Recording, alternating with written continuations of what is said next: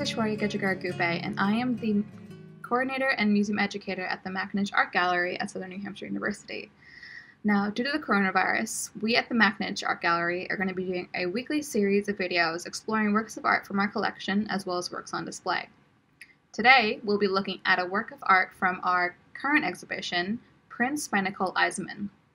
The show was curated by Debbie Diston, the director of the McIninch Art Gallery, and the works are a collection of lithographs and etchings, courtesy of Andrew Mockler, master printer and director of Jungle Press Editions, Brooklyn, New York. Now, Andrew Mockler worked with Nicole Eisenman um, over the period of a year and a half from 2011 through 2012 2013, and they produced 11 prints together. Nicole Eisenman is a contemporary painter, printmaker, and sculptor with a wide body of figurative and often humorous work. Inspired by social realism and German Expressionism, Eisenman frequently refers to art history for her imagery, both satirizing the bourgeois as well as permeating them with pathos.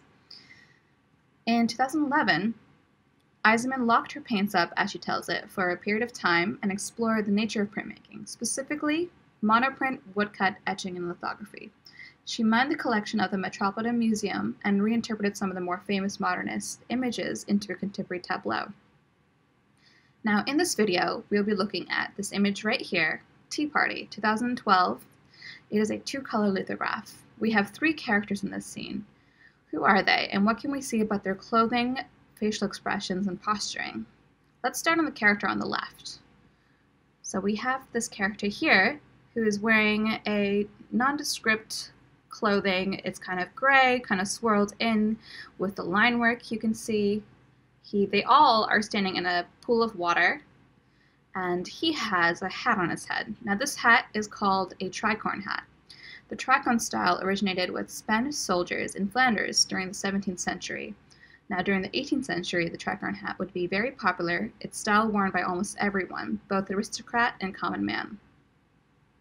In the middle here, you have a man whose style might be a little bit more familiar, um, look at his protruding belly, his suit, and his bare head.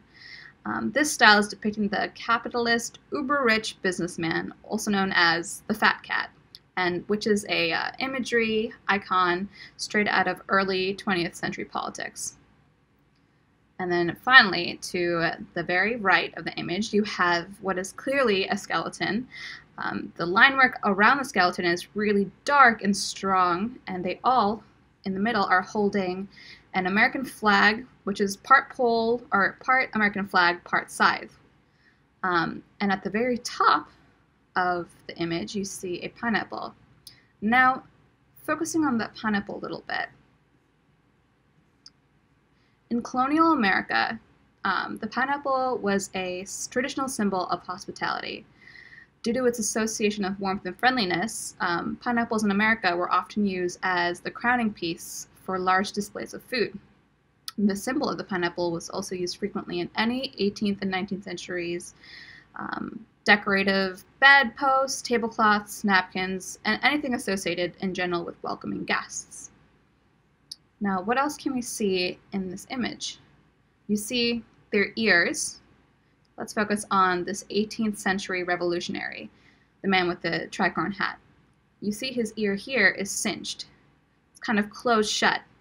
The revolutionary sports an anus-shaped ear, while the businessman's over here is shut with a literal pin. So what could this mean? The ears are pinned shut. Maybe it suggests that they both are impervious to outside influence unwilling to listen to anybody else's thoughts or to reason. And then here they are in a deal with death.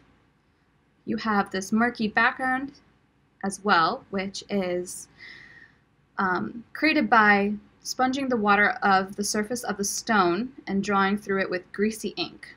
It portends an ill, kind of gloomy outcome.